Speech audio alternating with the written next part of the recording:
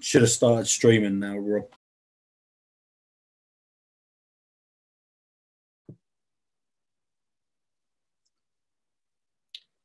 Cheers.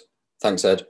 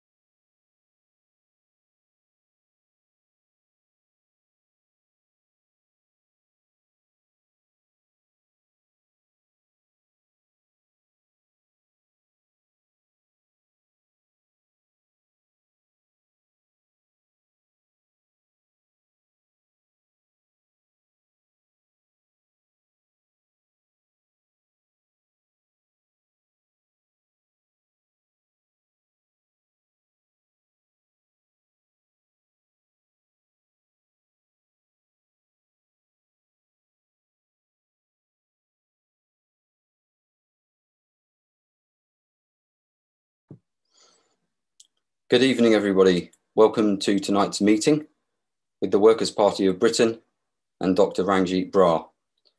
Now, this is the third, I think, in our series of meetings on the subject of economics, the economics of capitalism, and tonight the subject we're looking at specifically is wages and money.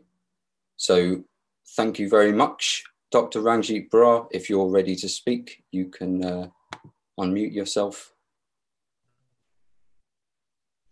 Thanks very much, Rob. Is everyone hearing me okay? Fine, I think. Perfect. Good. Um, so I'm uh, speaking to you from work today. I'm sorry about that. I've had a series of emergency operations, the last of which I've only just finished. Um, so I've grabbed some food, had a shower, and I'm joining you. If I'm a little unprepared, you'll forgive me. I think I'm reasonably prepared, and hopefully you'll find what I have to say interesting. Um, I learned today um, while at work in between cases, I was reading the news. I learned today that the NHS, in addition to having 10 million patients who are waiting appointments and operations, 10 million, that's the largest the waiting list has ever been in my lifetime. And while allegedly that's simply attributable to the coronavirus pandemic, it's not. It's attributable to the fact that the coronavirus pandemic has seen our hospitals overwhelmed and normal activity stopped. And that didn't have to be the case. That wasn't the case in other countries. That's because the endemic running down of our health service. Now, how will the government respond to this? I read quite a nice book once. I don't agree with everything in it, but it was by Naomi Klein and it was called The Shock Doctrine. And on the basis of any particular crisis, the ruling class of the day can use that crisis to drive home pre planned ideas, pre planned uh, schemes that it was going to anyway, but it hangs them on the contingency of that crisis. And they very conveniently announced today that 10 billion pounds, 10 billion pounds would be found to, because of the waiting list, to farm out patients to the private system, the private system which is also failing because they're unable to carry on with their activity in the presence of the coronavirus crisis. The NHS is going to rescue them, or rather, our government is going to rescue them by giving them 10 billion of NHS money. And it's this constant drive um, towards privatization um, that leads us as socialists to constantly say we don't want a private system, we want a public system.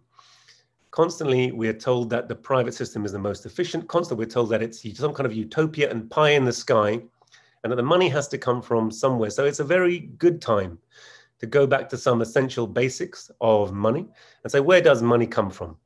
And I've prepared a little slideshow with you for you. I hope I can share that with you now. Are you seeing that okay? So this is the third in our series. Uh, George would obviously normally be speaking to us. You know, George has uh, recently had his third child with Gayatri, and so we wish them well.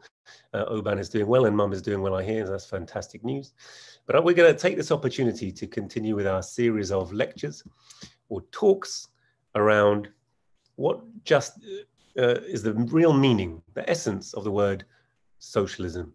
And today we're going to talk about commodity production. The first two lectures we discussed previously politi political economy, just what that means, and how society became capitalist. Now we're going to look at what is really the cell, the essence of the commodity productive system of capitalism, okay? Commodity production. So commodity production we saw in some of our last uh, couple of sessions is not something that begins with capitalism, but capitalism is characterized by commodity production as being the general form of production. That means overwhelmingly people are producing not to consume themselves, but in order to sell and exchange on the market. And labor power, work, our ability to work itself becomes a commodity, something that can be bought and sold. And this is particularly characteristic of the commodity system. But what exactly is a commodity? Commodity, a commodity can be any item of goods. And if you see that little picture there, got a barrel of oil, some corn, coffee, uh, coal, gold, aluminium, silver, copper, wheat, anything can be a commodity. The point of a commodity is not what it is, but the way in which it is produced. And in particular, it's being produced for sale rather than consumption, okay, rather than directly to eat. There are a few characteristic features that we'll reflect upon as uh, from the beginning before we go further. Uh, and one of those uh, is the fact that production is carried on without a plan. Okay, so a capitalist owns factories and plants.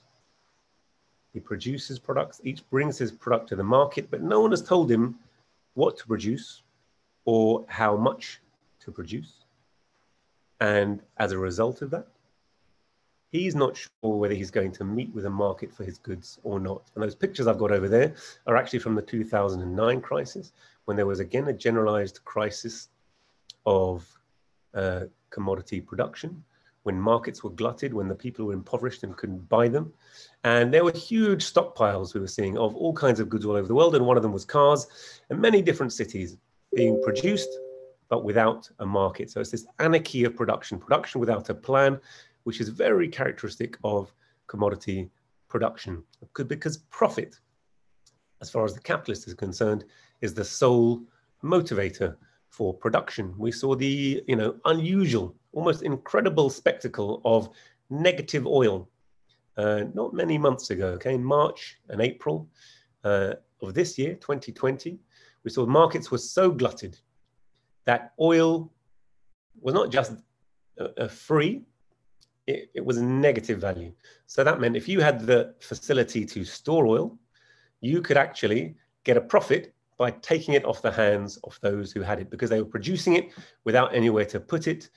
They were totally glutted. They needed to get rid of it, and the and the speculation that, product, that the market was still going down led to a negative price of oil. So maximization of profit is the capitalist creed, which leads him. He doesn't really care whether the food, whether the population has enough uh, uh, food, uh, clothing, shelter, culture, although they have the necessities of life. He's trying to maximize his profit, and yet precisely through neglecting the well-being of the worker, who's at the end of the day, the end market for all goods that are produced. By impoverishing them, you come to these periodic crises where actually, despite wanting to maximize profit, they're having to get, they can't give goods away. They literally can't give goods away. And this is a periodic feature of commodity production. And another feature that we have is that as a result of the generation of these super wealthy individuals, we have in reality an oligarchy, the rule of the few, a plutocracy, the rule of the wealthy, the rule of money. You've got a picture there of the governor of the Bank of England. He's, he's approaching the end of his term. He's going to be uh, uh, giving up his role, Mark Carney. Mark Carney, uh, uh, Tony Blair, in fact, and Gordon Brown, when they first came to power, one of the very first acts they committed was to give control of macroeconomic policy away. Say, we don't want it. It should be with the market. The capitalists know best. The capitalists must govern production. The capitalists must govern the economy. And they gave this huge um, a lever of power away to Mark Carney. Mark Carney is not just some independent chap. He sits there, his successor there, he's, he's sitting with uh, um, uh, Rishi Sunak, you can see there. And this government, this government of functionaries, uh, these uh, committee of the Bank of England who decide whether your mortgage is going to be payable or not. Right now, negative, uh, we have uh, very low interest rates. They decide tomorrow to put them up and up and up. They're not doing so in the face of the impoverishment of the working people. They can't um, do it because they risk mass defaults. But if they decide to, they can turn even more people homeless in a very short period of time. But all of these people ultimately represent the interests of a government of money. And if you want to know really who is in control, if you want to know really who our democracy is responsible for, who pays the lobbyists, who are the people who walk in and out of government and decide which policies can and can't go, which wars will or won't be fought, uh, which people will do well, which people will be oppressed and pressed upon by our system of taxation, which jobs will be present and which won't. You have to look no further really uh, than the Forbes rich list. And you know, I've got the 20 richest people there. These things change and fluctuate all the time, but Jeff Bezos is still very much up there. Bill Gates is up there. Mark Zuckerberg is up there, uh, uh, Mukesh Ambani, Lakshmi Mittal, uh, all of these names, uh, which are household names. Actually, people like Jer- you know um, uh, Richard Branson are relatively small fry, though these billionaires also play a major part in our economy and have a major stake in our health service. But really, we can see that the, the capitalist class, wherever it's got the upper hand, has put an end to all feudal and patriarchic, patriarchal idyllic relations. They've got rid of the idea that people should be taken care of, that people should be held up with reverend awe. It's pitilessly torn asunder. All of the ties that held society together under feudalism, under former orders of society, where everyone knew their place, but equally everyone was taken care of. And there are progressive aspects to that. But what's it left in its place? No connection between man and man, the naked self interest, callous cash payment. And it wants to elevate this to be the ultimate philosophy in the Ayn Randian manner of all society, but we very much reject it. Capitalism organizes and regulates the working class. this is a small quote about Taylorism. The Taylor system was the system of mechanization of the production line that was adopted by Henry Ford um, and subsequently by most uh, factory production lines, in which really man feels himself to be enslaved by machines, perhaps not characteristic of Britain's, the, the, the, the, essence of Britain's economy. Britain has increasingly become a service economy, but still those jobs are here. They're still wealth creating jobs. And this is still the manner in which the vast majority of products are produced around the world. So capitalism organizes and regulates the labor within the factory for the further oppression of the worker in order to increase his own profit. But in social production as a whole, chaos remains and grows greater, bringing on crises when the accumulated wealth and we have wealth in abundance, untaxed wealth in abundance, tr trillions and trillions uh, of wealth which can't be productively engaged. But precisely because the workers have been impoverished and can't buy the goods, production is in crisis, production ceases, and that accumulated wealth finds no purchasers. So the goods that they are going to produce can't be sold. And as a result, increasing numbers are put onto the scrap heap of unemployment. And without an adequate social safety net, and more and more people, perhaps four to five million people, are classed as destitute in Britain, the sixth richest country on earth, and hundreds of millions and billions around the world are in this condition. Those people go hungry precisely because they've produced so much wealth for this tiny government of money, this tiny oligarchy. So what then is the commodity and how do we reach this uh, situation. So the wealth of societies in which the capitalist mode of production prevails presents itself as an immense accumulation of commodities, of things, of things to be sold. Okay, as unit being the single commodity. And I've got some examples there. We think of the market. When we think of the market, we, we might think of a fruit and veg stall in the east end of London. That one, that particular photo I've got there, it's actually from Blackpool but also, you know, steel production, aluminium, rolled aluminium, and that's ingots of aluminium, all these things. I could have shown you a thousand pictures of the goods that we use. They're all commodities. Commodities have different properties, but in particular, they have two properties, okay? They have a use. Every commodity, everything that must be sold, must first of all satisfy some human want. Otherwise, it wouldn't be worth wasting any labor on trying to produce it. So whether we're talking about buildings in the construction industry, whether we're talking about cars, whether we're talking about footwear, coffee, tea, whatever, that commodity must have a use, something, some desirable aspect to it. And if you look at modern capitalist economics, if you study economics, people go on and on about this and they essentially fetish, fetishize the people's desire for things. How much is something worth? Well, it's as much as worth. It's worth as much as you want to pay. If you uh, spend a lot of money like Nike on branding, advertising, well, you've increased the value of that commodity because now the brand image is worth so much on top of the base production. This is all nonsense, okay? All commodities have to have a use or they're not worth spending labor on, but that doesn't tell you real, really the other property of a commodity, which is its exchange value, i.e. how much it is worth, how much of one kind of commodity exchanges with another. And it's confused economists for many years, and it continues to do so. We talked a little bit about Adam Smith and David Ricardo in our previous uh, talks. And really, the question is commodities can be exchanged, we can swap them with each other.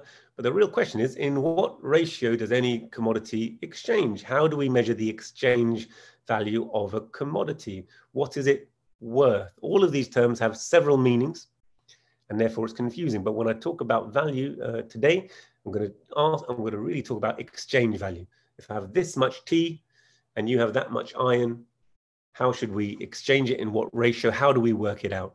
So exchange value, or simply value, presents itself first of all as the proportion, the ratio in which a certain number of use values of one kind, so commodity, is going to exchange for a certain number of use values of another time, type your shoes. Okay.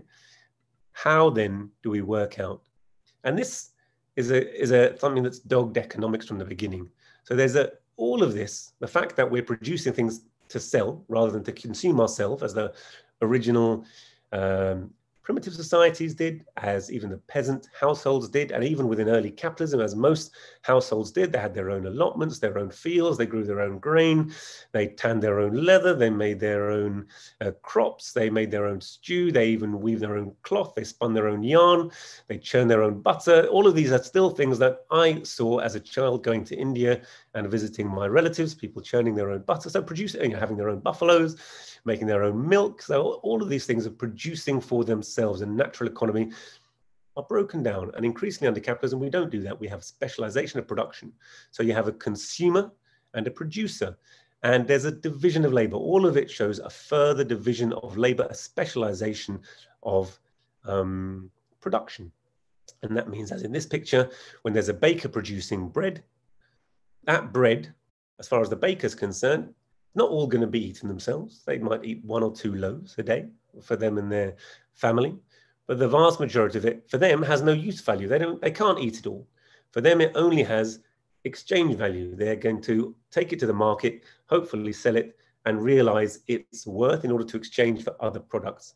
For the consumer, for the person who buys the bread, on the other hand, it's got use value, and he has to give something in exchange, which has, embodies the exchange value, the worth of that commodity. And it's this division of labor which is contained upon the commodity. So it hides a relation between people who are coming together in a social way to produce different things and exchange them. So a social division of labor is hidden behind an individual thing, the commodity. And this is one of the things which becomes increasingly hard to work out for economists and hides and uh, gives rise to a number of problems within our society which are not immediately apparent. So commodity is the agent of a definite social connection. The bread, in this case, is the agent of the connection existing between the producer of the commodity, in this case, the baker, and society as a whole. The baker is baking bread for society, or collectively, all the bakers in society are breaking bread for society. And as, of course, we go on and, and production develops, you get bigger and bigger breakers. Alison, uh, who uh, producing more and more, greater and greater share of the entire market of the whole bread for the whole country. But the connection is indirect. Society doesn't tell each producer just what and how much to produce. There's no planned and conscious guidance of the entire process of production in, in society. And so very different and really incomparable use values. You know, how can you compare watches and coffee, tea and sugar, um, pig iron and a car. You know, very different use values, but they're all exchanged. So they must have something in common. And if we leave out of consideration the differences, what, what can't be compared, their chemical composition, the way in which they're used, their attractiveness. If we leave out all of that, what do we have left within each of them, which is common, that can be compared? We have only the fact, their common property, that they're products of labor, of human labor. And this was the labor theory of value put forward by the uh, capitalist political economist David Ricardo uh, many years ago. He said the value of a commodity, so the exchange value, uh, or the quantity of any other commodity for which it will exchange depends upon the relative quantity of labor which is necessary for its production. So it's how much working time there is within it that determines its value. That's the labor theory of value. It's not generally recognized to be the case, but without it, we're really powerless to understand. You know, by just saying supply and demand, by just singing Psalms that says capitalism is the perpetual state, it's the highest state of existence, and there's nothing higher. And there's, you know, it's the it's the least worst system, and it's the great equalizer, and all ship, you know, all it's the uh, rising tide upon which all ships ride. All of this is just meaningless. It doesn't allow us to really understand the nature of commodity production, and then therefore the nature of the crisis it throws up, and the manner of the solution for a rational way forward to society. So exchange value was at first accidental uh, and then more and more conscious. Uh, so when people came together in an early way, they just swapped things. I have this, you have that. We would like to exchange. But increasingly, people were, as exchange become more um, regular, okay, a regular part of society throughout slave societies, throughout uh, the primitive um, early civilization, if you like, and throughout the feudal system, when exchange um, became more and more regular.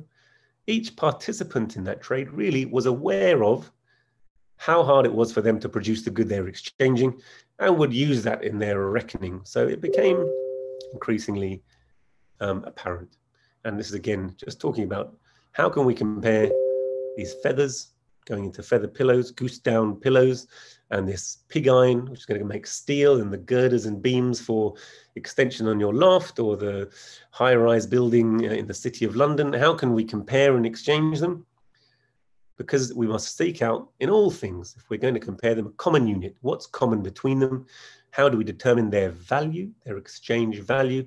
And the common unit is the quantity of labor time, how much time it took to produce that particular commodity. And there's a number of things which kind of back that up. Uh, as less labor time is necessary to produce, particularly complex items, um, and technology items, we see that over time they become cheaper. When plasma screen TVs first turned up uh, in my youth in the 80s, and I would go to Tottenham Court Road and have a look at them go, wow, amazing, plasma screen TV. They're rubbish now. But uh, they used to cost 10, 15, 20,000 pounds for a single screen. Now you can buy bigger screens of a better technology, mass produced, and you can buy the same screen for 1,000, 2,000. So a tendency of prices to decrease over time as they're mass produced and the amount of labor in them actually goes down. A lithium ion uh, uh, battery, I saw that one and also was tempted to put up there. Of course, with simple commodities extracted from the ground, a question of their availability is there. And we know that these questions, these real market questions of how to cheaply obtain a commodity that is necessary for production. So lithium ion battery being very topical, precisely because battery technology is a key component of so many modern products, and obviously electric cars being one of them. And there are, of course, American producers uh, of these batteries, uh, of these cars, who have openly said, you know, that uh, they were quite prepared to have a coup against governments where these commodities are contained. So Evo Morales' government uh, in Bolivia was overthrown by one of these very common color revolutions in which essentially Wall Street decided they can't get their hands on a commodity cheaply enough. And in order to do so, they were going to get rid of a whole uh, government of another country. So it's not democracy that our this oligarchy, this government of money strives for. The market comes above everything else. What they strive for is domination and they're quite prepared to overturn the democracy of entire other countries and declare the whole of you know entire continents to be the um, playground, the living room, the Lebensraum, uh, the backyard, okay, the sphere of interests of their own group of powerful capitalists.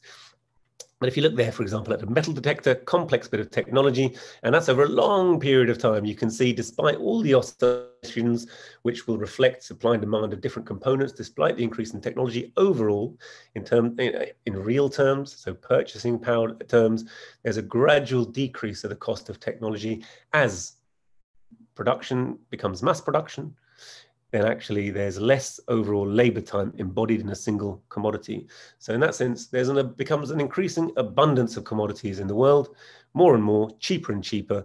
Um, and that shows you that this assumption that I've made, which many of you may have heard, some of you may not have heard, that the real value, the exchange value, the amount of money ultimately that something is worth comes down to the how hard it was to produce, how many labor hours, necessary labor hours went into producing it. Okay. So in exchange, uh, we compare all these kinds of varied labor. And when I say that the amount of labor necessary to produce it, you might say quite reasonably, what do you mean labor? How can you compare, you know, the labor of someone who's excavating a road, the labor of someone who's mining, the labor of someone who's baking, the labor of a surgeon, the labor of a um, of a lawyer, the labor of an insurance broker? How can you compare them? Well, all the labor power of a given society represented in the sum total of the values of all commodities. So that you look at the whole production of an entire modern economy per year, is basically composed of one and the same labor power. So you have to talk about average labor power, millions and millions of exchange exchange transactions prove that. We're talking about as million millions of accumulated hours of labor. And so therefore we're talking, just as we talked about use value, the value of a sandwich to me. But equally, um, if a sandwich shop buys it, it's selling them for a certain quantity. So there's, there's a division between use value and exchange value, how much money ultimately will be worth. There's a difference between general labor, which is a way we can make these economic calculations rational, and the abstract individual concrete labor necessary to produce any particular item. And so therefore we can say that, that you know, the work of the baker, the work of the watchmaker, the work of the miner can all be equated in some relation and thought of as general manpower, of general abstract human labor. They are all the products of, they are all human labor, human labor processes. They will produce goods which are uh, desirable and useful to society, and therefore they can all be thought of and equated uh, on that basis, and indeed valued and exchanged on that basis. So to produce a commodity, a man must not only produce an article satisfying some social want, but his labor itself must form part and parcel of the sum total of labor expended by society. It must be subordinate to the division of labor within society. One is nothing without the other. Okay. But we keep on saying, and it's worth coming back to, the individual who produces is blind to that division. And he only realizes that division when he takes his good to market. In that way, this social relation that we're all coming together in a complex society to produce the things that society needs is hidden. It's hidden behind an apparently supernatural connection between these things that are exchanging on the market, uh, which we apparently have no control over. So, this contradiction, which consists in the social nature of the individual labor of independent producers arises with commodity production. But that contradiction, which gives rise to so much dislocation, disharmony, destruction, war within our own society, also doesn't have to go on forever. Just as it arose with the dominance of commodity production, it will disappear. Okay, so it wasn't present before that in natural economy. Products didn't rule man. Mankind struggled in early civilization to produce enough to satisfy and feed and clothe him. In our own society, we've got an abundance of goods that can't be sold.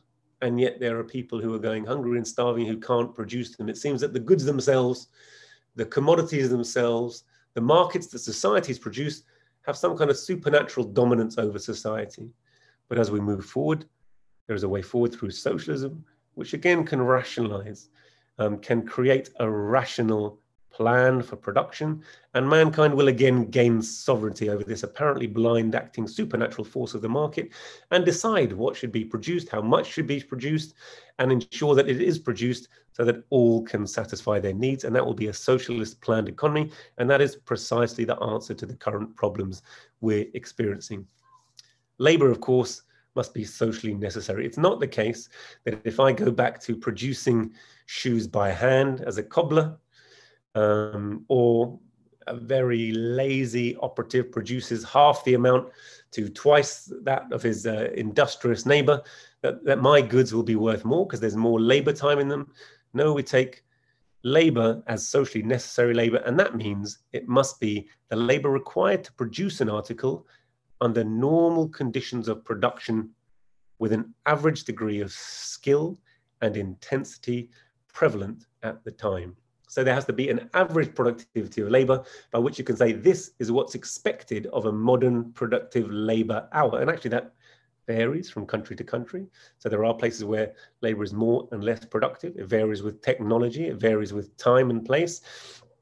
So there are variations in the productivity of labor, but any one stage, there'll be an average of that, and that will be the socially necessary time. And those who very heavily invest in technology can reduce the socially necessary time to produce. And in so doing, they'll actually gain an extra profit by selling at the market rate.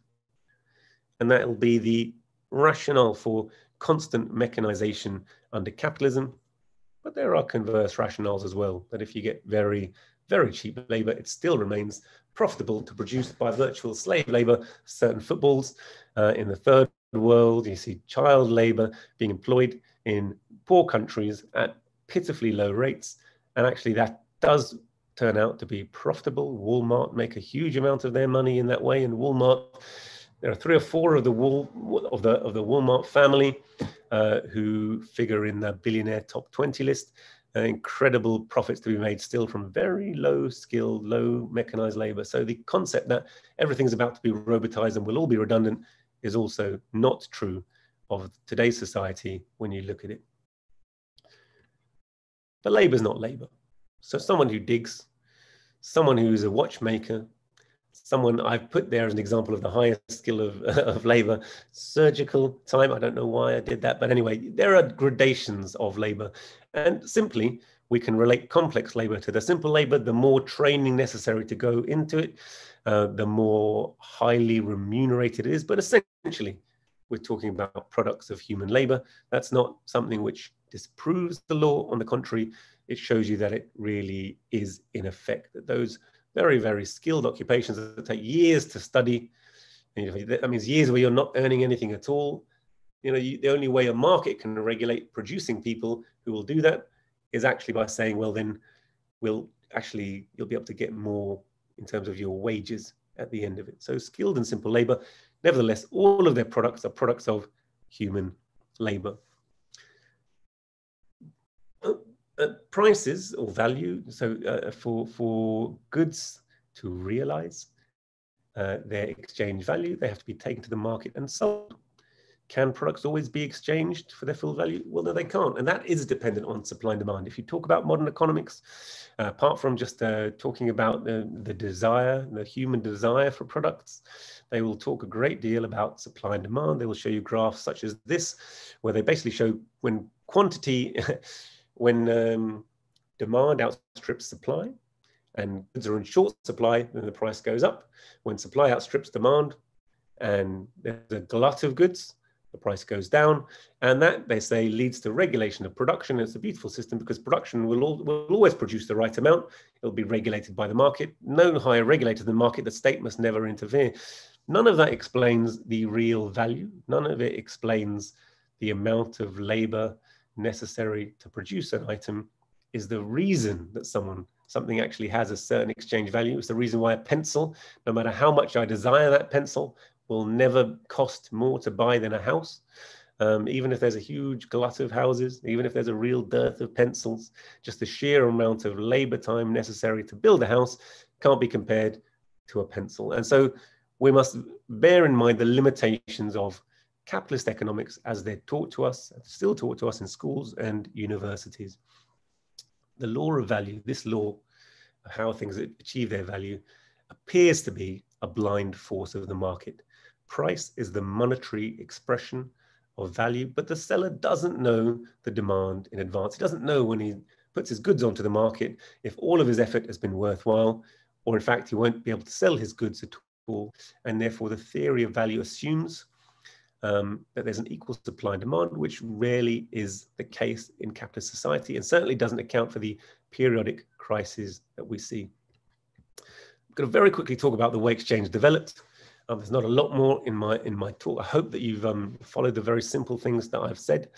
Um, but when exchange is accidental, okay, um, simple goods were exchanged with each other, only occasional. So if I come and I meet someone who's got a nice axe and I've been hunting and I've got a skin, we exchange them. And for me, when I give away the skin, the skin's of no um, use value to me. I've got another skin, but I, I want that axe. I desire it. He, so your axe has the use value I desire, and my skin only essentially serves the purpose of exchange value. Okay. So it's only in terms of my skin that I can give a value, uh, a, price, if you like, to that axe. As exchange becomes more and more regular, I might regularly see that I can exchange my skin actually for a whole variety of things and come to generalize that relationship. And that's generally called the expanded form of value. So I still see my skin only as something uh, to be given away, only as something with which I can embody the exchange value of other things that I want. And I see the two axes, I see the canoe, I see the sack of corn as use values that I want, whose value is alienated from them and expressed in terms of my skin. It's a funny concept. I'm gonna leave it there for now.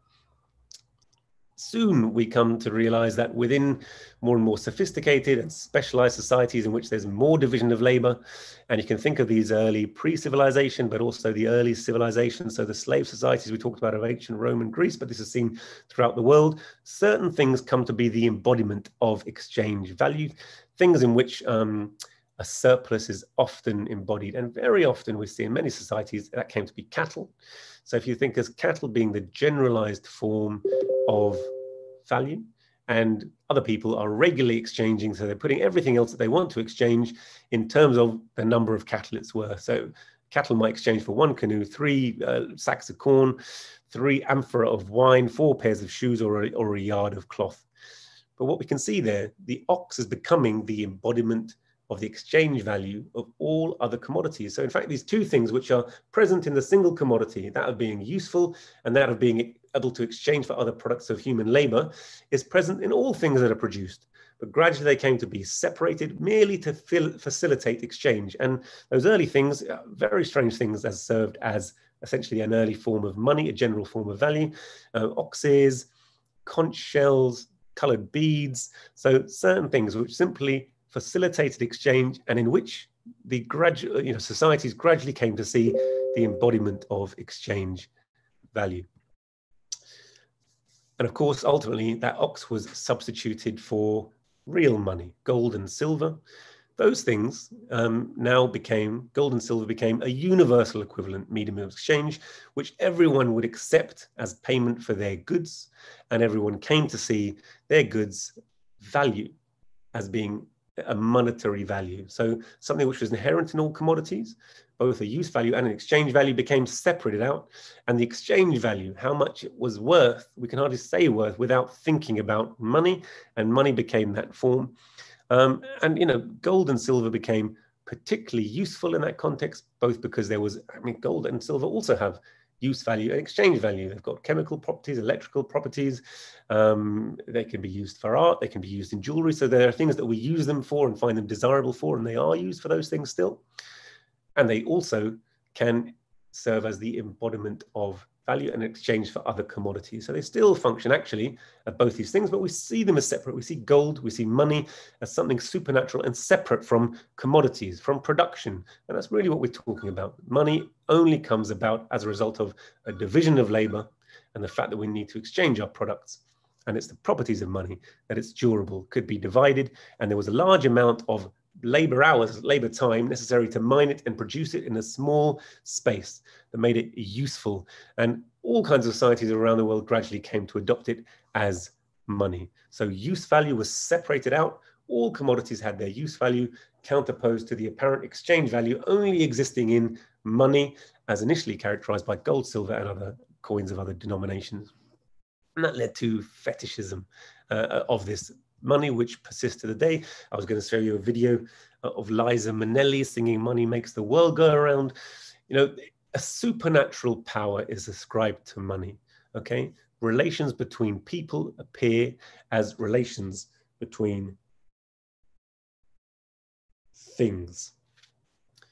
Um, but really, this is we're just talking about a division of labor, and that all of our separate production is part of a social um, productive process, but without a plan, realized through the not the anarch but the anarchy uh, of the market.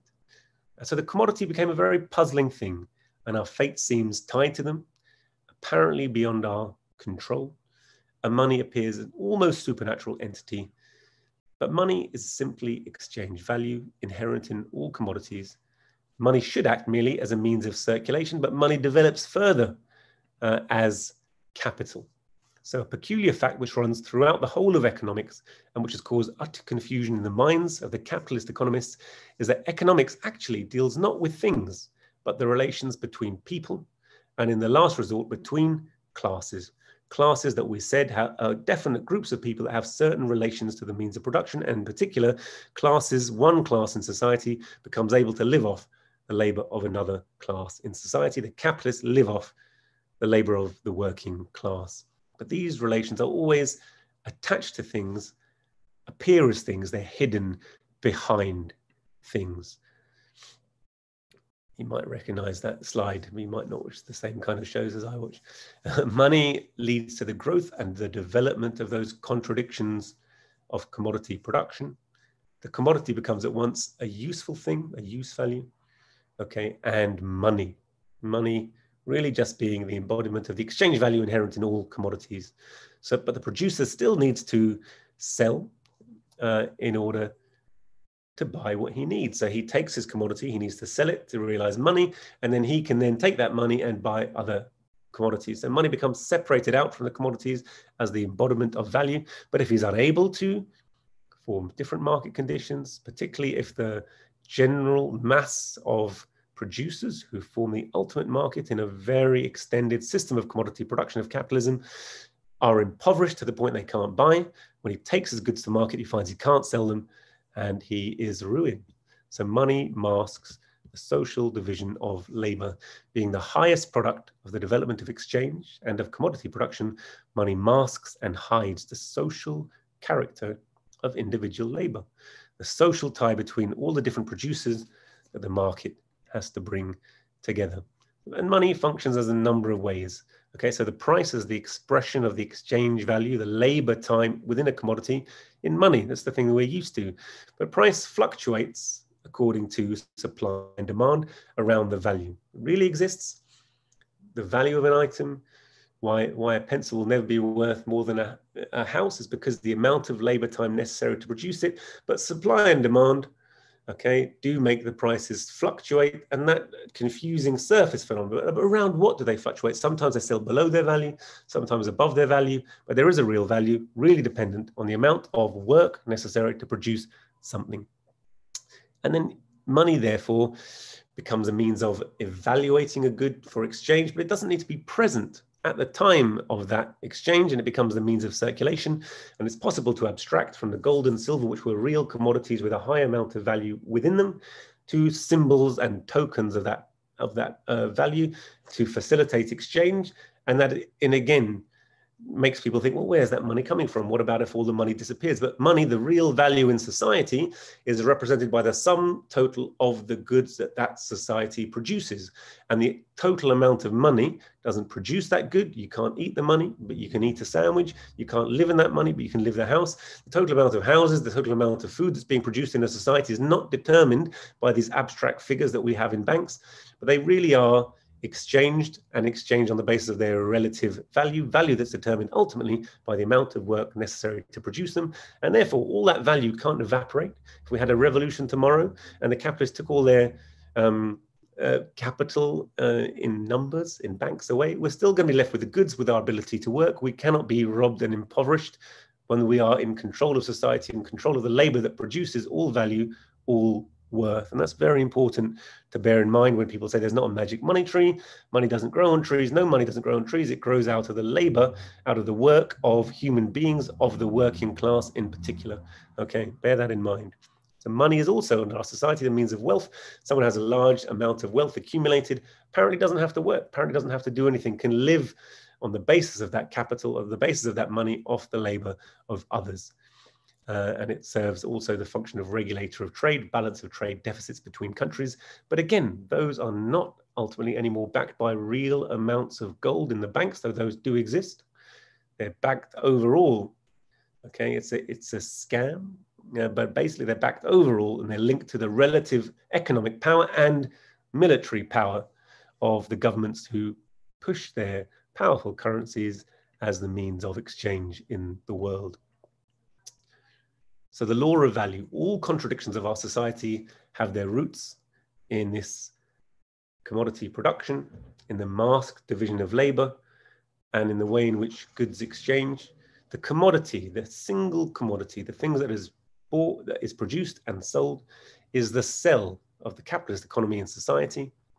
And it's most obvious in crisis, as the one we're seeing today, that the features of that commodity production are anarchy, an anarchy of production in which there's no ultimate regulator, in which there's no plan, uh, in which there's a productive forces are massive, have the potential to produce wherewithal the goods necessary to satisfy all human wants, and yet the productive relations, the fact that they're all owned by a dwindling band of increasingly wealthy billionaires, the Jeff Bezoses of this world, the Warren Buffetts of this world, the Bill Gates of this world, have such a hold over production, okay? They have individual accumulations. This tiny number of people, six people, have the same number of wealth as half the planet's population. So these six people are accumulating not money that they've made themselves, but the social product of the work of the whole world's productive economy in their hands. And when this socially produced wealth is taken away from the people who should ultimately get the goods, you know, it stands like this this relation of production, the fact that these incredibly wealthy people have to make a profit before we can all eat and drink, stands in the way of us consuming the necessities of life. And it's this absurd contradiction that sees at this time of crisis, when there's 55 million unemployed in the States, when there's probably 10 million unemployed in Britain, when people are going hungry, when there's increasing dependence on food banks, actually there's a surfeit of goods. Every supermarket, you know, every day throws away food or surreptitiously gives some to the food bank, but mainly throw it away. They prefer to throw it away to keep the market price high than satisfy the needs of the starving men, women, and children, some of them working, many of them working, many unemployed in our country. That's the absurd system, this anarchy of production, in which there's a clash between individual accumulation of the billionaires and the social production of the whole of society. It simply doesn't any longer make sense cause the whole of our production to grind to a halt and the economic crisis, which is endemic, which may have been triggered like the straw that broke the camel's back by the coronavirus pandemic, but was not caused by a coronavirus or any other virus. So the people who constantly talk about the conspiracy of corona to, it's not a conspiracy of corona, coronavirus is real, but that is not the root cause of all the inequality Uh, uh, uh, that we see in our society today but a minuscule thing, you know, a thing that society should be able to cope with, that modern medical technology can cope with, triggers this chaos precisely because we're on the brink of it all the time, precisely because of commodity production having put all the wealth in hands in the hands of a dwindling number of people and leaving vast masses of the world starving and hungry, despite the fact that they have produced more than they need to consume. And labor power and we're going to explore this more next time, the mechanism by which each individual worker is impoverished through their wages. Labor power itself becomes a commodity. So the workers are not bought and sold like slaves. Okay, there's not a market where I check my teeth, see if my hearing, see if my muscles are good enough.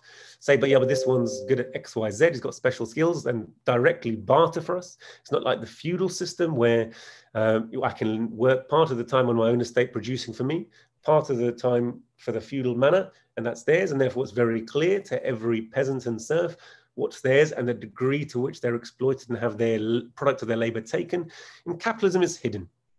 We seem to get wages, we seem that we're paid for everything, but it's not clear that our labor time doesn't reflect the amount of value we produce. So we go to work for the capitalists, we produce for them, but our wages are just enough for us to survive some higher, some low, but just enough for us to survive. And that will be the essence of capitalist exploitation that we'll talk about for next time. But the fact that labor power becomes a commodity, our ability to work becomes something the capitalist can buy that produces value for the capitalist is what is at root of the mass impoverishment of vast swathes of the working people of our world. 80, 90, 95% of the world live in relative penury uh, compared to the remaining portion and compared to this handful of billionaires.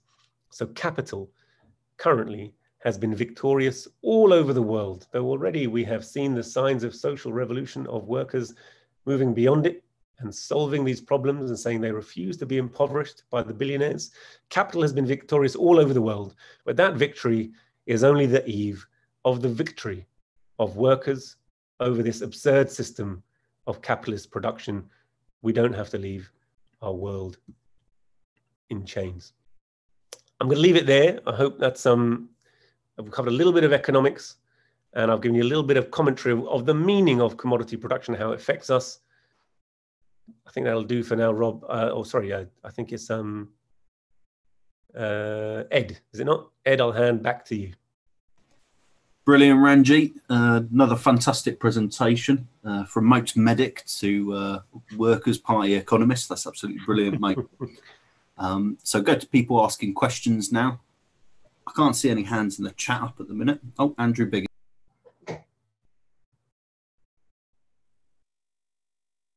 Thanks ever so much, guys, and, and thank you uh, for your talk, Ranjeet. I'm not sure how you do it in between surgery. You know, I thought I had a, sort of had a hard day, but I don't think I have compared to you, so thank you. Um, I thought your explanation of the market was brilliant. Um, you alluded to the fact that markets, I think, can be forced, they can be fixed, I've worked in the automotive business for many uh, years in various facets. And that's essentially how that business works. Manufacturers force the market. They decide at the start of each year how much they're going to produce. Those amounts of cars get produced no matter what happens. Um, this then has various uh, negative effects, which I'm not going to go into now. But I just wanted to make an observation on the market. I read somewhere, I'm not sure why, or sorry, or where, but the the, the commentator I was reading was um, saying, talking about the market and saying it's not just a capitalist idea. It's not just a, it's not just a concept that um, that defines how we buy and sell, but it seems to be a, a neoliberal idea, if you like, so the commentator was saying. Um, and he said that this seems to be a symptom of the fact that we don't think there are intrinsic value anymore and that we're happy to subject everything in our lives to the rule of a market, whether it be an election, whether it be a referendum, or whether it be a, a financial or economic market. Um, and I'll probably not explain that very well, but that got me thinking. And I just wondered what your view was and whether you thought this idea of a market actually seeps into more of our modern uh, life than just economics. That's great, Andrew. Thank you for the contribution, mate. Do you want to come in on that, Ranjeet? Uh, can we take a few people's um, contributions and then I'll come back in a bit? I feel like I've spoken too much already. No worries. I'll go to Joshua Megan now, please. Guys, just a moment. Can you hear me? We can, can hear, hear, you, buddy. Oh yeah. Uh, can you see me? Actually, I'll stop. Oh yeah, here we go. Yes, I was just gonna. Uh, I think Ranjeet did sort of touch on the psychological mechanisms of of capitalism about how it sort of it you know it, it encourages sort of well i'm going to expound on it further. It encourages sort of people some not everybody but a lot of ordinary people to think that somehow capital, capitalism is the aspirational uh, you know is the aspirational concept because in theory you can have as much as you want even though it's very unlikely and i was just going to ask how do we wean people off this idea because make no mistake, I do not think it is aspirational at all. It does quite the opposite in the overwhelming majority of cases. Only if you are uber talented or simply extremely lucky do you really make anything of yourself of any significance under the system we've got. But so many people, I think, need to be weaned off this idea that, um, you know, like uh, capitalism is the given the material value that it could potentially offer, potentially, uh, it needs to be so we they need to be weaned off the idea that this is that this is unlikely, while simultaneously not encouraging ordinary people to be less materialistic, because of course most ordinary people cannot be that materialistic compared to you know an oligarch in uh, you know in in say New York or in London. But how exactly do we encourage a working person to set to adopt the view that capitalism does not fulfill aspiration because it only has done so for such a small minority of people and yet while simultaneously encouraging them not to relinquish their material needs because we and and desires because we all do have that uh, what would you say do you get what i'm saying uh, Ranjeet uh, or do you, do you do you do you not follow how would we sort of strike that balance, tread that tightrope, as if you see what I mean. That's great. Thank you, Josh. I'm just going to go to test now before we go back to Ranjeet. Thank you, mate.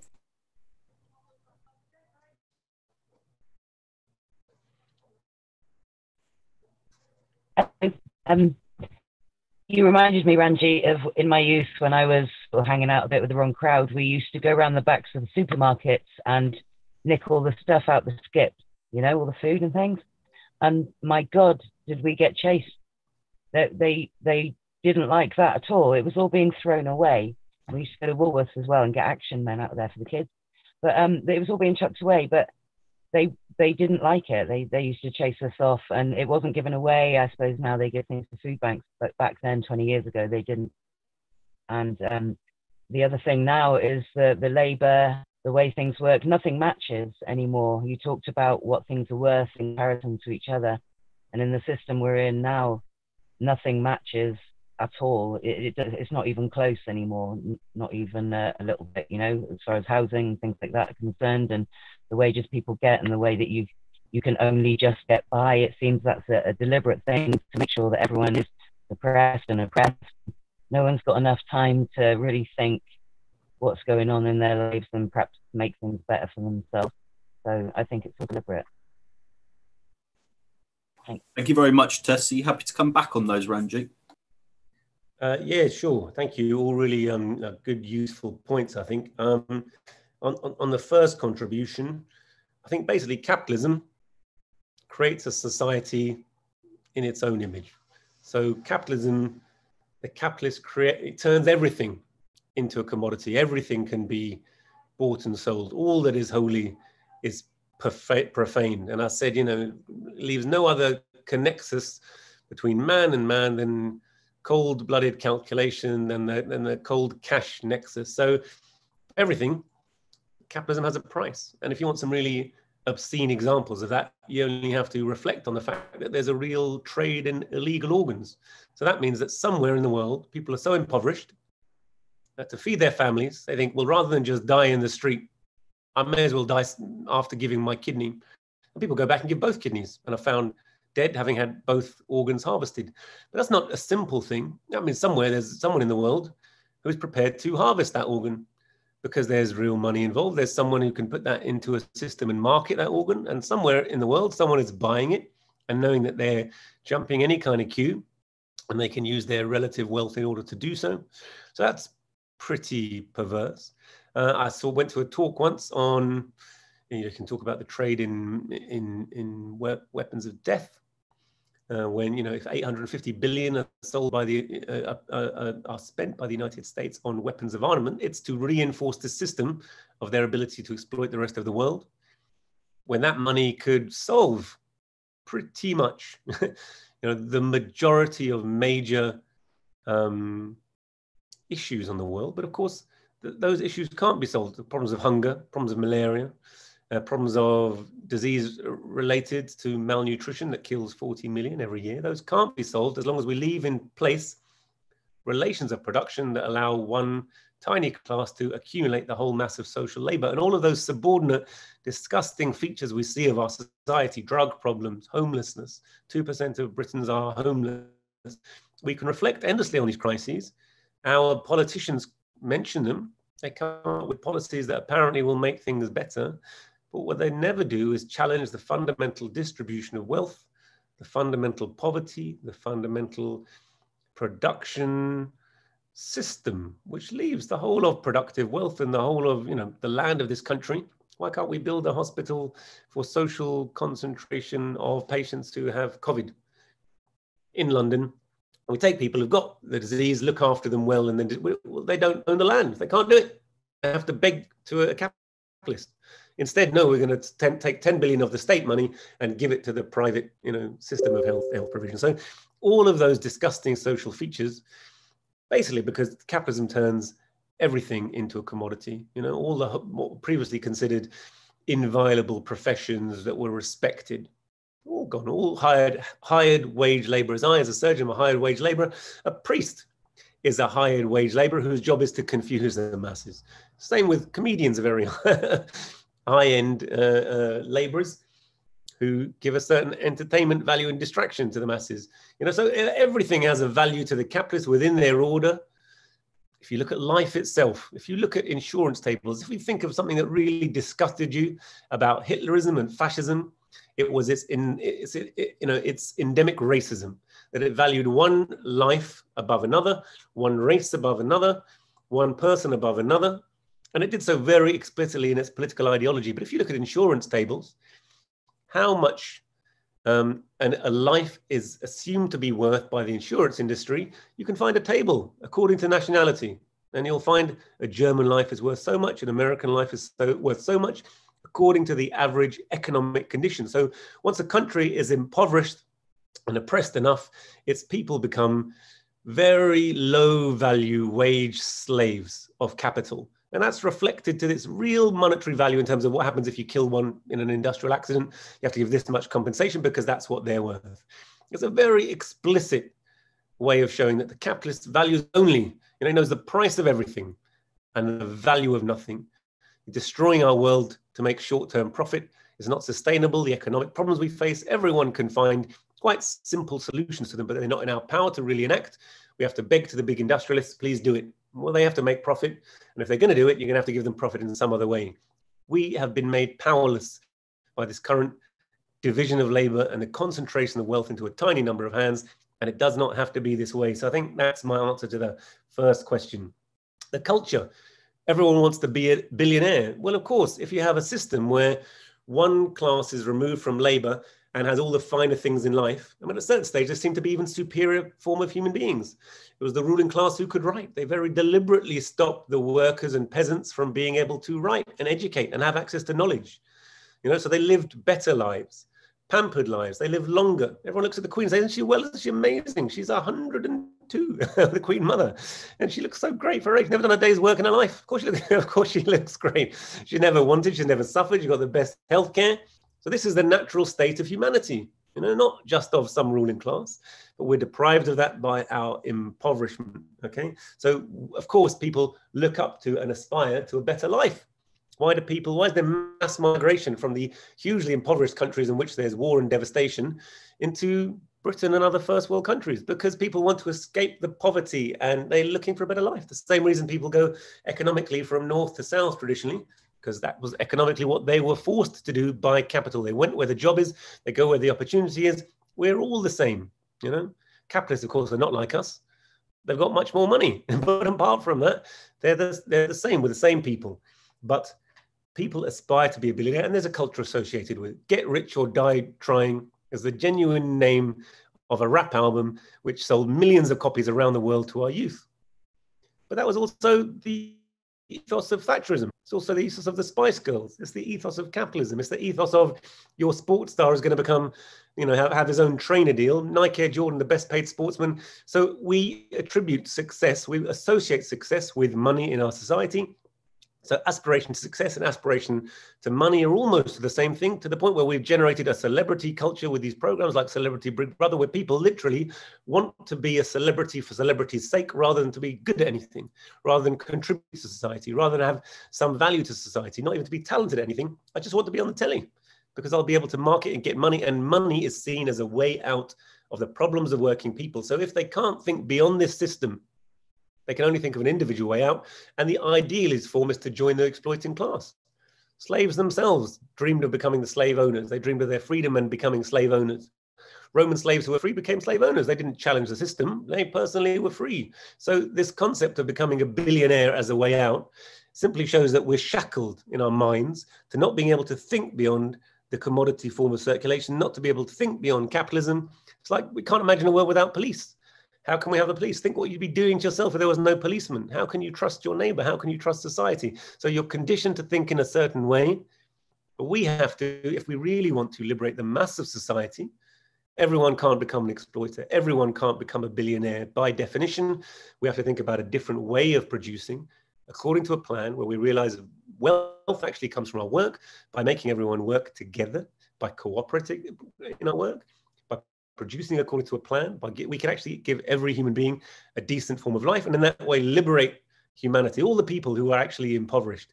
So this question about you know human nature, you know, if it's human nature to want to get rich, then people should have stopped working under the system a long time ago, because in this system, wealth is riches, you know, exist property, private property, in the real things that create wealth, the means of production exist for a tiny minority by the fact that they have excluded and kicked out the vast majority from having them. So this concept, you know, we don't really own our nation. We don't really own our factory. We don't have a stake in production.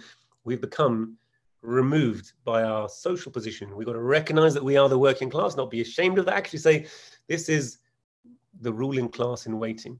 We are the only class with a future, but we have to change the ownership of the things that our labor creates and make it our common property. And that has to become a general desire. And changing that culture is part of growing a movement that can actually put those demands forward and make them popular, make them understood, cut through this nonsense of exploitation culture that we're giving, whereby the billionaire, of course, deserves all that money. It's the only way you can in, induce him to produce is to reward him.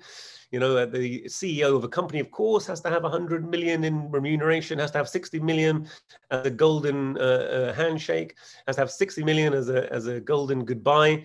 We can do nothing apart from reward the capitalist with more and more money. On the other hand, the laborer, the lazy, feckless laborer, by nature needs the stick, needs to be beaten, needs to have the threat of starvation, needs to have the threat of being homeless. Because without that, well, why will they work? Where's their incentive? So this dual incentive is just a mask for this class exploitation of capitalism.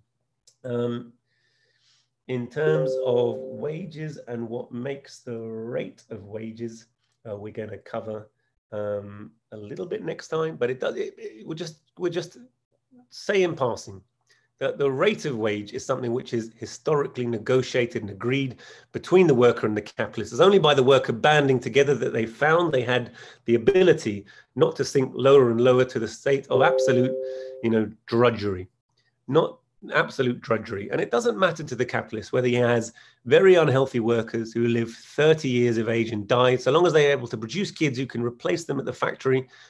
And we had that throughout the classical Dickensian period. They have that still in many places, okay? Very low life expectancy, very poor conditions of work.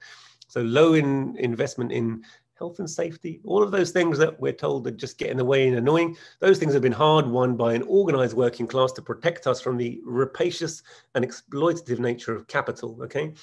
Um, so as workers combine, become more productive, strive to protect their rights, their wage goes up. It's the job of the capitalists constantly to try and depress their wages because depressing wages means that of the total quantity of commodities produced, fewer and fewer so money is, of course, just a, an expression of the total produce of society.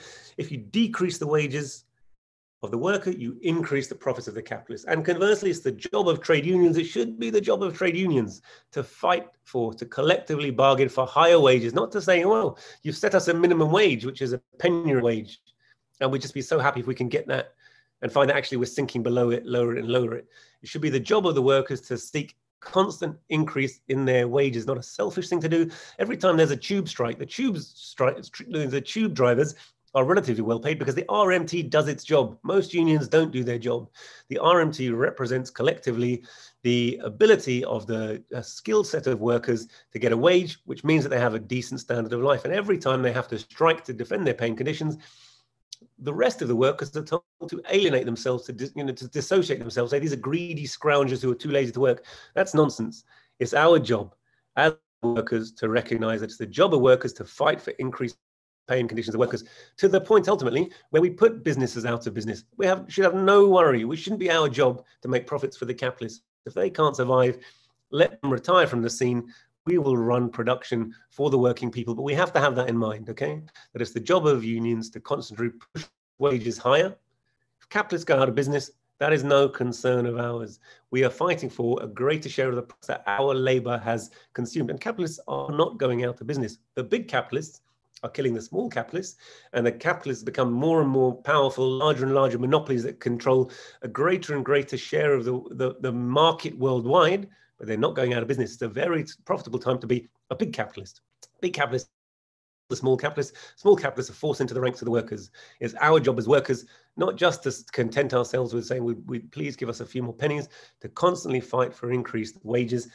And that's why, you know, it seems impossible for us to live. These are all products of this current prevailing system.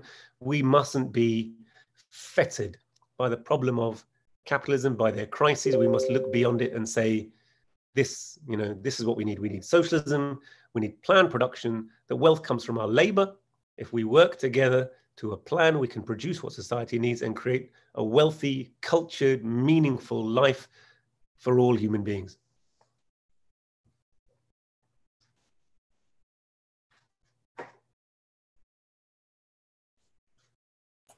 Fantastic, thorough answers, Ranjeet. Thank you for that. Uh, going to take another trio of questions then. Uh, first of all, I'm going to ask Dave, who's a veteran of ours.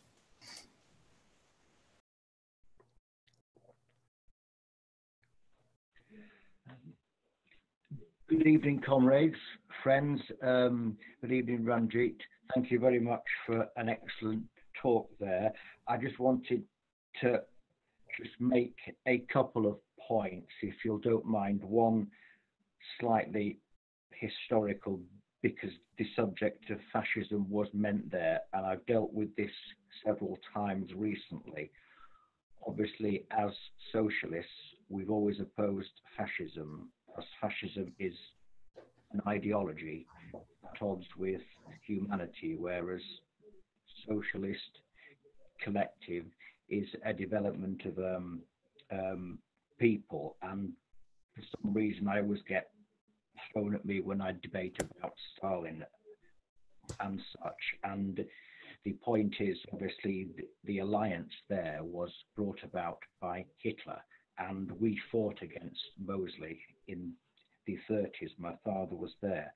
So I just wanted to move on to what I would say is the myth of the capitalist um, society, as in we've got richest countries, but what we don't see is that how many services, how many people are helped by volunteers, community groups, unpaid carers.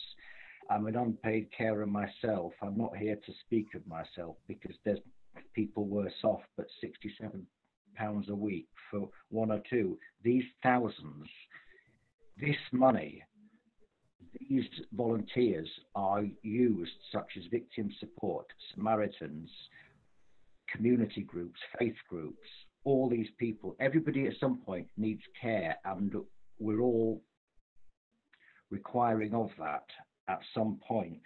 So, if all these individuals, say just unpaid carers, had to be funded, the government would be in the biggest crisis ever.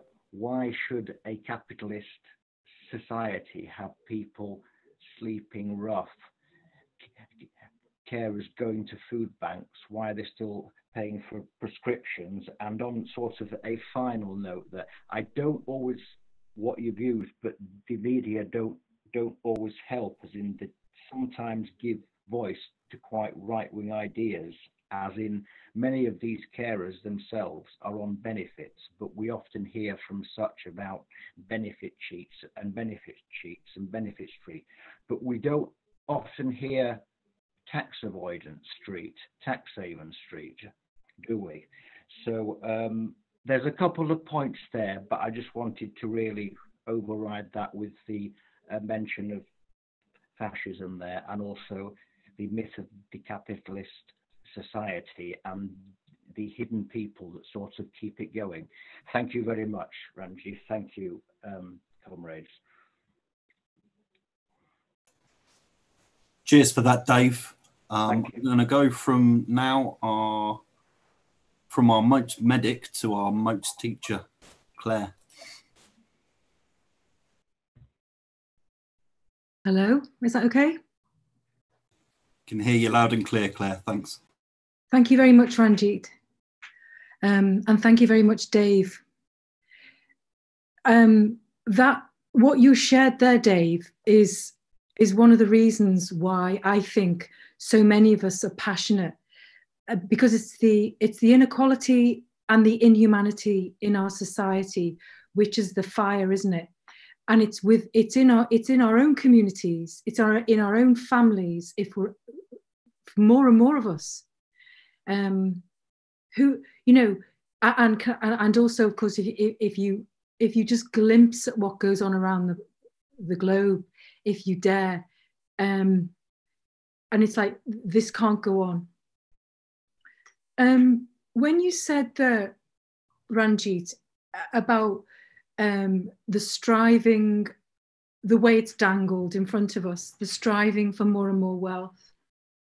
I'm not at all sure it's it's successful, and I think what's missing for me is an understanding of what's going on. I think the desire for change is is there in society. I would like to say more than ever, but an understanding of the mechanism of how it's going to come about puts people off. It's that thing of, like you shared, oh, communism would be great, but how are you going to get it? And we can't allow that to stop us, can we? We can't allow that to, to be that, that mountain that's just too high to climb. Um, so we have to find a way of, uh, of keeping going, of realizing it's the good fight. Um, I think I want to say they know they're losing and they know they're going to lose. Otherwise, why are they throwing everything at us? The media, the culture they've got hold of, um, they've got everything on their side, haven't they? Because they need it. Because it's because what they're doing is so out, egregious. Um, and I think that their weapons have changed as society has changed, as education has, has opened up what they're doing. We're no longer feudal peasants who don't get it. We get it. So they just become more sophisticated in how they control us. Um, I don't know if that ties in with your talk, Ranjeet, um, but I just feel that there's so much cause for optimism.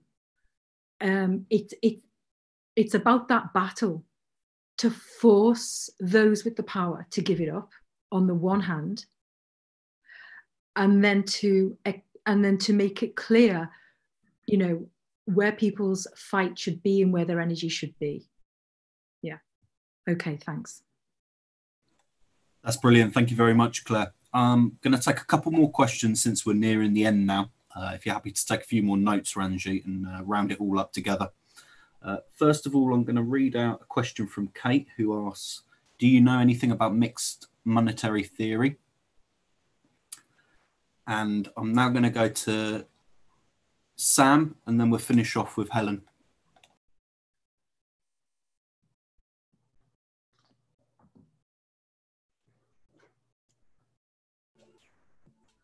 Hello, Ranjeet. How are you doing tonight? Uh, so my first question, and my only question here today, uh, uh a little bit long, but it should cover all the notes that I wanted to share here. Uh, uh, but I'll ask this question simply.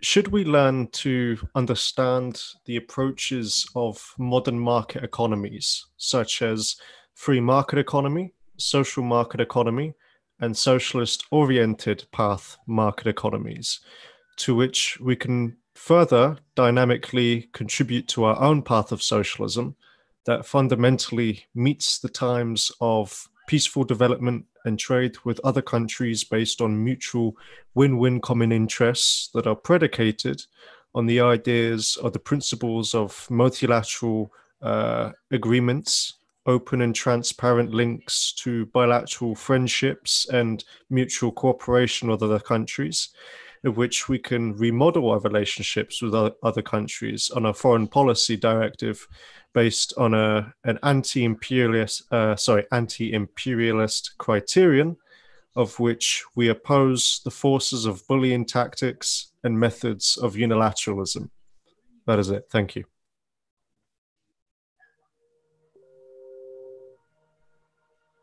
that's, that's great thank you sam i'm going to go to helen now thanks ed um, I've just finished uh, an, eco- an economics module on the Open University. Um, I'm a bit long in the tooth to be doing that for reasons I won't go into at this moment.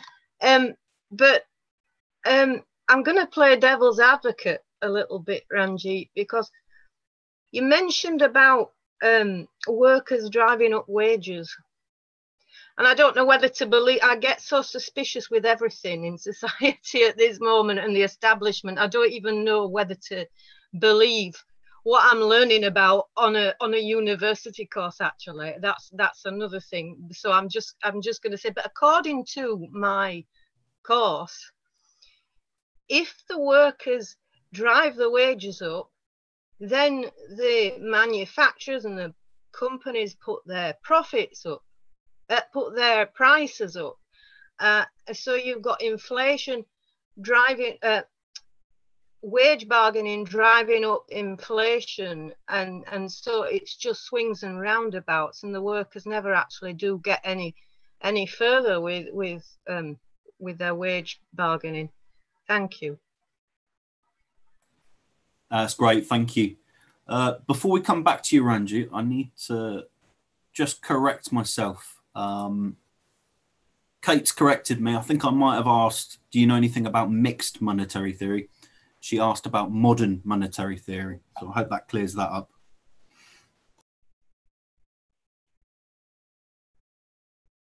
Do you, want, do you want me to come in?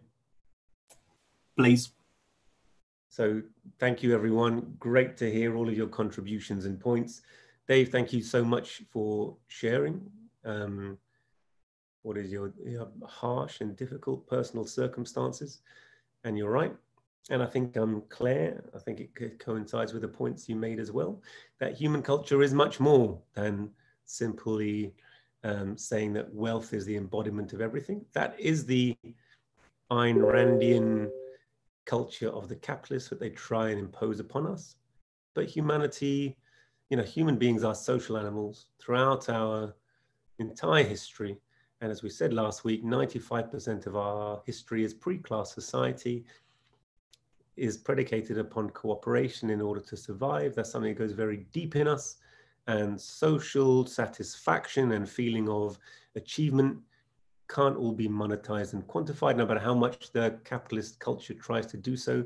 So there's much more to our culture. And I think it's deep in working class culture. The, rea the reality is there are two cultures in our society, or many cultures, but two predominant forms of culture, a working class culture and a capitalist culture and we need to increasingly build that working class culture.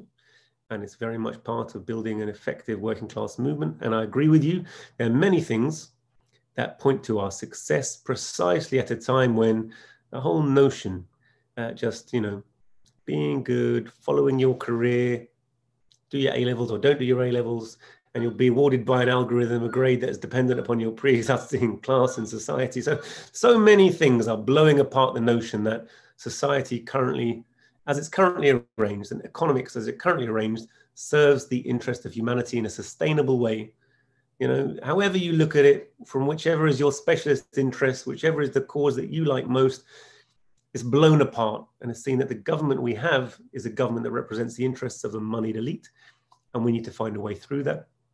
Of course, we need to build a culture of unity around it. And I hope what I'm doing in revisiting what's not new to me, what wasn't invented by me, but is the, you know, it's the science of socialism laid down by generations, is to returning to what should be the core themes of understanding so that we can all start to think with a common language and to appeal beyond our own simple ranks of people who've already joined, but to the wider working people of Britain and make them understand that what we're saying is not, you know, some airy fairy nonsense. It's based upon human culture and civilization, the real problems that we're facing, and a common way through, and achieving something together and a society which will really allow them to achieve their potential. So I hope that's what we are building. I think in terms of, um, I was asked specifically about modern monetary theory. So modern monetary theory is, is, is essentially a concept whereby there is no inherent value to money, where it's just a perceived value that we agree, and you can keep on printing money endlessly. Will will, and therefore the concept that you have to limit things. So when